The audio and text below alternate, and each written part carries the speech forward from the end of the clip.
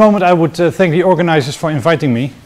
But um, since I am one of the organizers myself, I think instead I owe you a bit of an explanation why it's me standing here. So, in fact, this should have been Anna Spinelli's talk, so that's her. So, Anna Spinelli recently obtained her PhD in my group, and she was first author on a large part of the work that I'll be showing now, and also an important uh, contributor to the rest. Um, so, uh, yeah, you might wonder what, what reason there is that uh, she declined to talk today. And she actually has a very good reason because last Saturday her son Tomasa was born. Uh, and uh, I've heard that both mother and son are in great condition, except not in good enough condition to give a talk here. So that's why I'm, uh, why I'm talking. Um, on the slide you also see the rest of my team. So uh, Jan and Ranko and Flores are all here.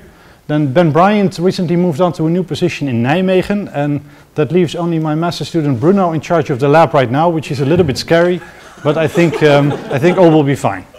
Um, there's also my collaborators. I collaborate with uh, Joaquin and also with Markus and with uh, Jean-Sébastien Caux at the University of Amsterdam.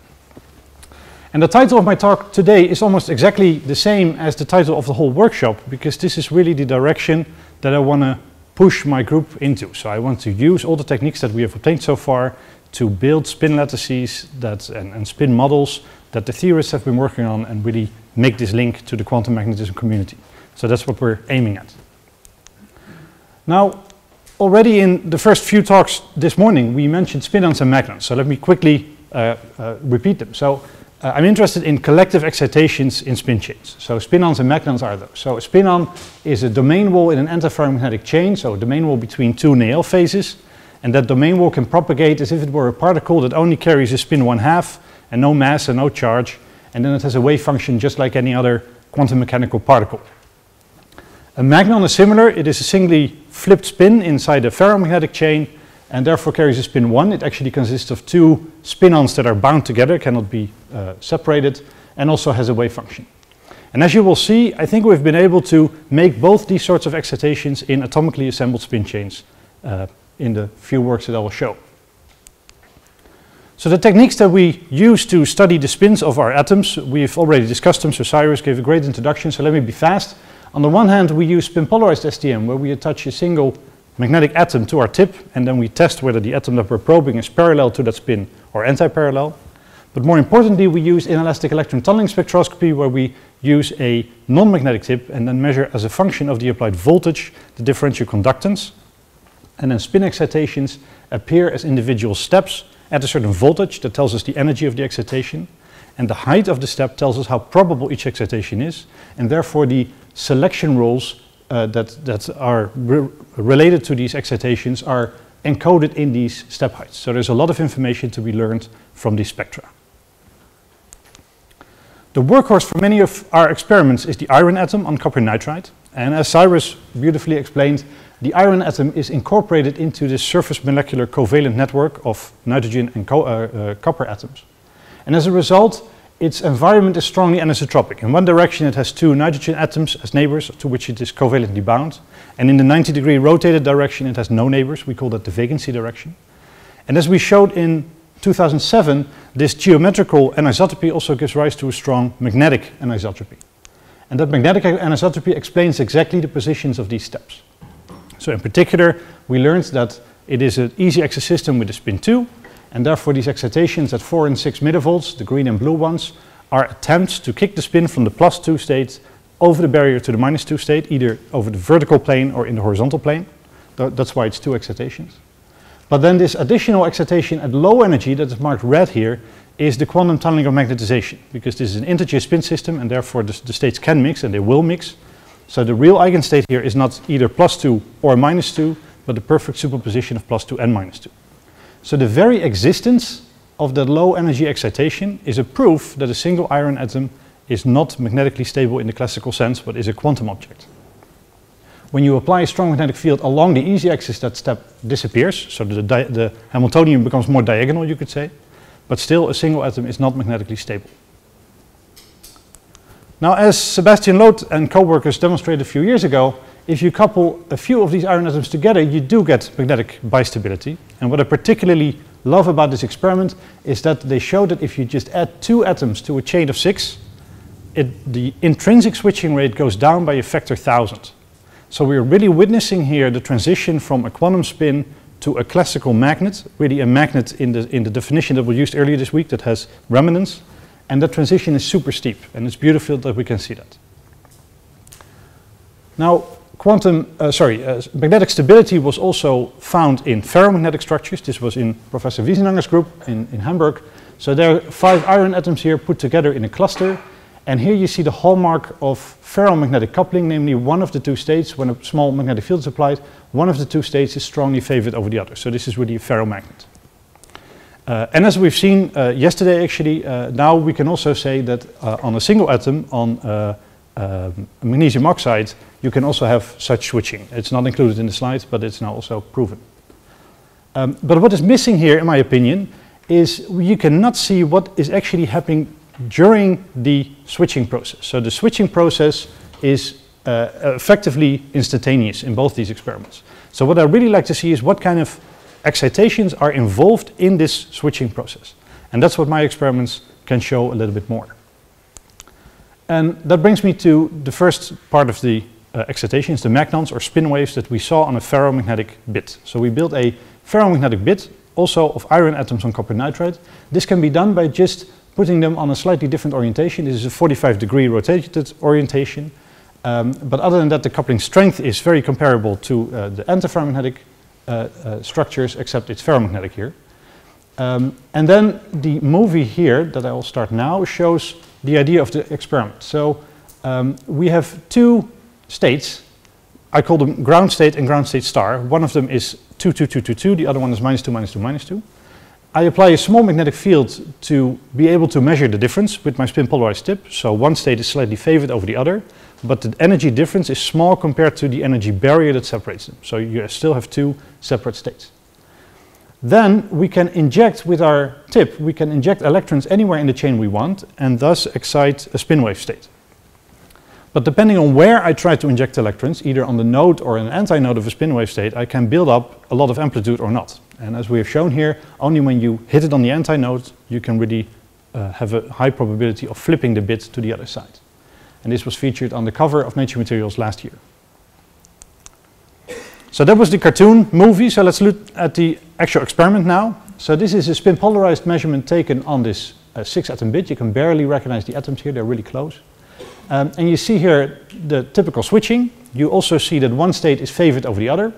That's clear. But what is most important here is that the switching rate was observed to be much faster when you're on the outside of the chain than when you're on the, in the bulk. And this is only a trace of 100 seconds, but of course we took a lot of statistics. We took hundreds of, of switching events.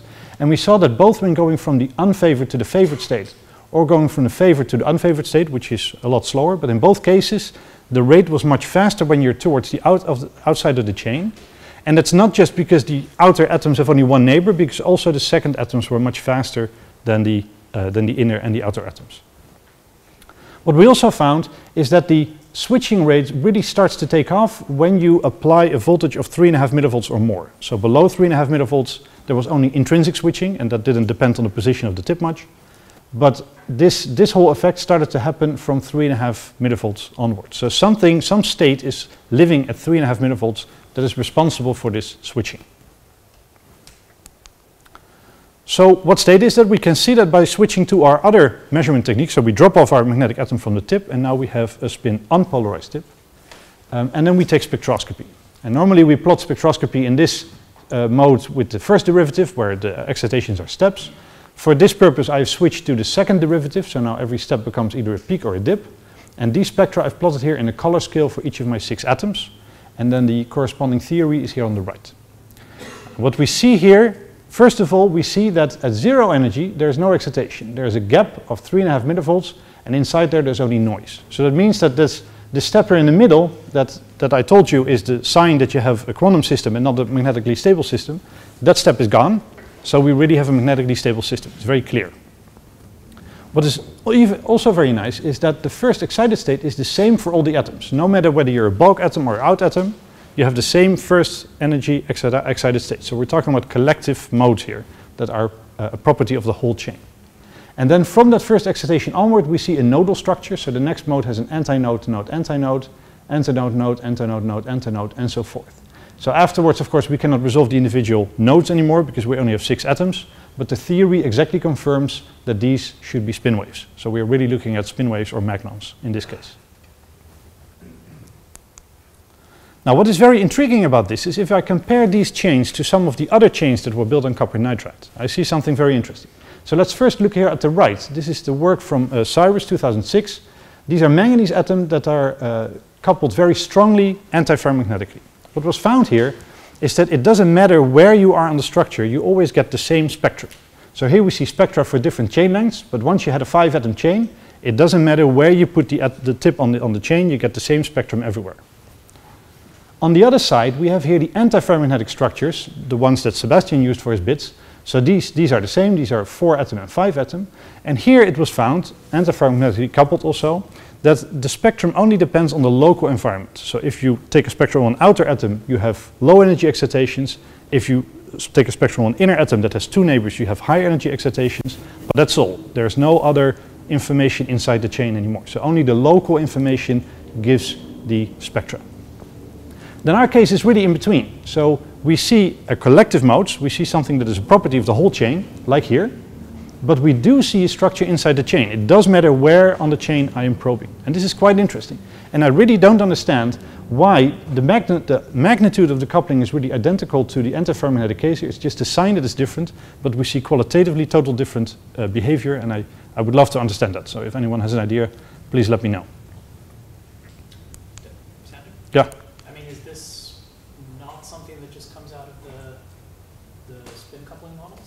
No, it, it, it, comes out of the model, certainly, okay. but, but there's, no, there's no intuitive way for okay. me to understand so why the behavior is so different. Okay. Yeah. It's yeah. Just, it's just an intuition for... Yes, yes, yes, but, but the models all agree, yeah. yeah. Um, so uh, now that we know this bit so precisely, we can calculate the exact eigenstates of the bit. This was done in, together with uh, Fernando and with Joaquin. So here you see it's, it's a bit not so clear, but you see the first 100 eigenstates of this six atom bit. So there's a lot of states here, but there's no states here. So what you see here, these are the lowest energy states that separate the two. And interestingly, this, the barrier is not at all parabolic, as we always show, but it's more like a square, where on the edges of the square there's the spin waves, and on the roof there's domain wall states. And in order to get from one side to the other, you have to in, uh, excite into a spin wave, and then get onto this roof, and then you roll to the other side and you fall down. And using Pauli master equations, we've been able to really calculate what is the probability if I make a single excitation with the tip on a certain particular atom, what is the chance that I flip the bit, and all these calculations match up with our experiments.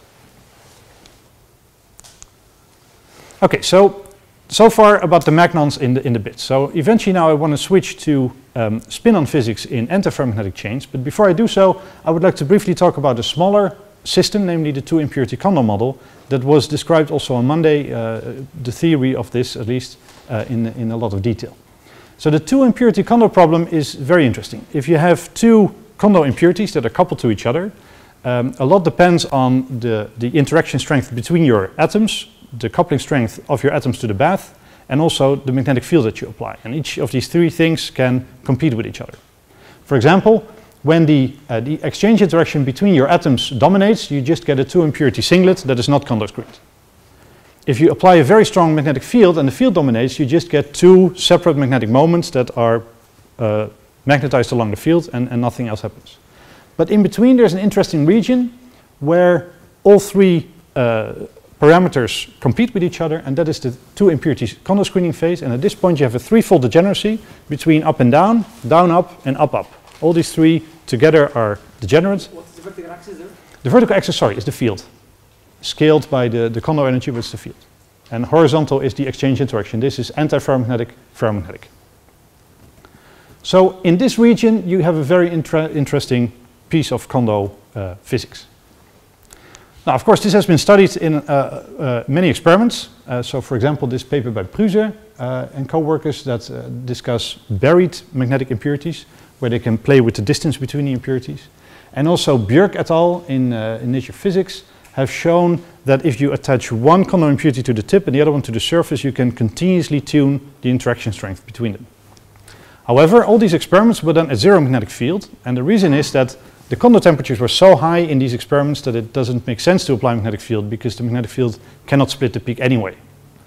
So if I would plot these experiments in this phase diagram, they would all be here at the lower edge, zero field. So the transition measured here in the Bork paper is from the single Kondo impurity to the singlet state, but it doesn't access the two impurity Kondo state at all. Now with our cobalt atoms on copper nitride, we have a much lower Kondo temperature and we can apply magnetic fields. So we can actually make dimers in different ways and really slice through this uh, phase diagram and access all the different phases. So we start here with the cobalt atom on copper nitride. This was shown in 2008 to have a, uh, a Kondo uh, temperature of 2.5 Kelvin roughly. Uh, and then a hard axis anisotropy that brings up the 3 half doublet to 6 millivolts, so you have a, a Kondo screened 1 half doublet at low energy. And then we found that if you park one of these cobalt atoms here in the middle and you park another one around it, so you park the second cobalt atom on any of these colored circles, then the color of the circle gives you the, uh, the exchange interaction that is, uh, that is in the resulting dimer. So this is not theory, this is experiment. We, we actually extracted this from all our measurements by doing spectroscopy. So we can go from strong anti-ferromagnetic coupling to fairly strong ferromagnetic coupling, just as with the iron atoms and everything in between. So that gives us all the positions on the horizontal axis, and then once we have built all these dimers, we can apply magnetic fields up till 8 Tesla, and, uh, and we can slice through this uh, phase diagram. Now what do we get? We have, for example, here a dimer that we call 2,0, that is all the way here far at the right. So this is just, this is in, the, in a singlet state and nothing is changing to that. There's this other dimer, the 1, 1, the diagonal one, that's all the way to the left and is just in a triplet state and nothing is happening to it. But there's two interesting cases, for example, the 0, 2 dimer and the 3 half, 1 half dimer that are really going through this green region over here. And if you look closely, you see that in this plot there's both blue dots, which are the, uh, which are the data, but there's also a green line, which are uh, curves that we made with uh, Markus's new uh, uh, fitting tool to, to model these curves with a third order perturbation procedure. And as Markus described himself, um, that model cannot quite capture the strong Kondo interactions in the, in the strong Kondo limit. So right at the moment when we, when we go through these regions, we see that the discrepancy between the, the experiment and the theory, which is the, the yellow region, it becomes biggest. And we can actually plot that also here, that for this 0,2 dimer, we see that at finite field, that, uh, that discrepancy becomes biggest. Finally, we can also zoom in to the actual crossings where you go through this two Kondo screening phase. So these are the white dots here. And then you see that for both these dimers, we see that at that point we recon reconstitute a Kondo peak. But this, I, I, emphasize once more, is a Kondo peak resulting from a degeneracy between three states and is part of the, uh, the two impurity Kondo phase. Okay, so our ability now to manipulate half integer spins uh, allows us to make spin chains that should show spin-on physics. So that becomes the next step of the talk. And, and here I really want to uh, want to show that what I'm, what I'm going to show now is an attempt to, uh, to um, do something in the spirit of this workshop, namely to make a system that is uh, interesting from an, uh, a theoretical perspective and, and that we could really uh, provide new answers by building it. Uh, that you could not just calculate if you were if, if you to, to provide uh, new answers, let's say, uh, uh, in a system that could not be calculatable if, if, if you were large enough.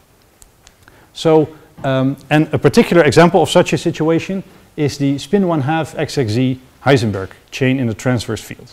So the Hamiltonian for this, this, uh, this system is shown here.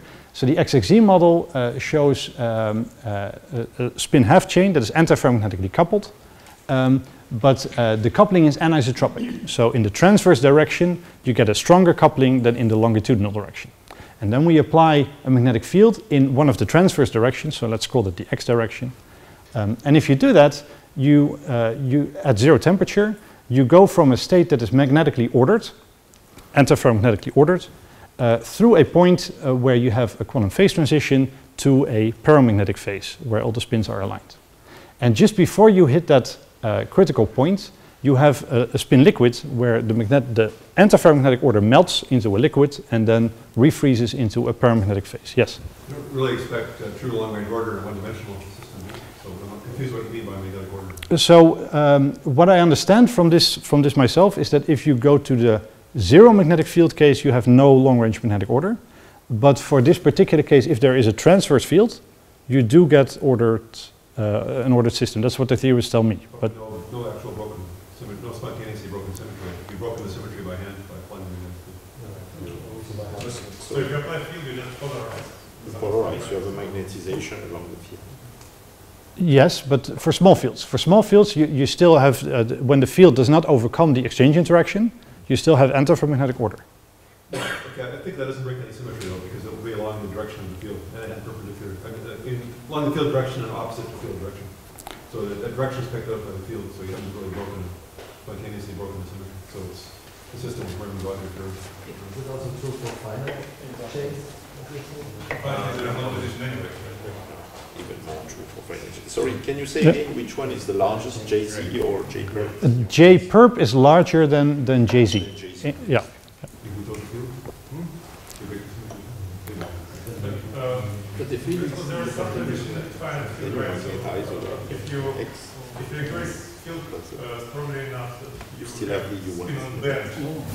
Uh, So, so sorry, there's many people talking now. So maybe we can. I I think we should Yeah. let Continue. make the question and then Yeah. let continue. Sander. My brief remark is that in principle, there is some phase transition when you increase magnetic field. Yeah. uh, In, in one D, because you can, you can push up the spin on bend above the Fermi level, so this is full polarization. And, and below this full polarization, there's some, well, there's no saturated, there is a transition from to saturated state. Maybe that's what you mean, Yes, yes, exactly. So you get a transition to what they call a paramagnetic state, where all the spins are aligned. And below the transition, you get you, the system is still antiferromagnetically ordered. It's unsaturated, it's, not, saturated, but it's not saturated ferromagnet. Paramagnetically. It's not saturated, it's all there. Okay. Well, anyway, uh, this this is this system is is uh, is also realized in, for example, cesium cobalt chloride. It's, it's a compound, and it's known that there is a second order quantum phase transition at, at this point. This this plot is taken from this paper. It's not it's not mine.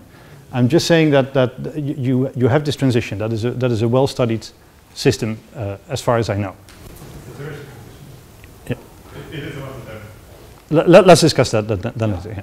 So, um, how do we actually build this? So, uh, of course, our cobalt atoms are spin 3 half and not spin 1 half. But since we have this nice property that the spin, the plus or minus 3 half doublet is pushed away by the crystal field, you can essentially say that you have spin 1 half as, as long as you make sure that the coupling between your spins is low enough in energy not to compete with this 2D.